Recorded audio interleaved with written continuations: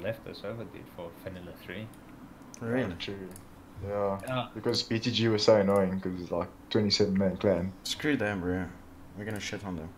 That's fine. yeah, Oh, and then like the only problem them, is yeah, the only problem is then like another 10 of them come. Yeah. You kill six and then another 10, and you're like, oh my. Yeah, exactly. Like you're better at fighting than them, but then they flip and come with their crap. Yikes. Well, so what i- happens if you're on the server right now? Does it just kick you off? Yeah. No, well, when it wipe, it will kick you off, yeah. But if you are now, it's just gonna be the old wipe. Oh, okay. No, but sometimes they give guns and shit. eh? Your shadow ciphers. What did they Yeah, say? they're welcome.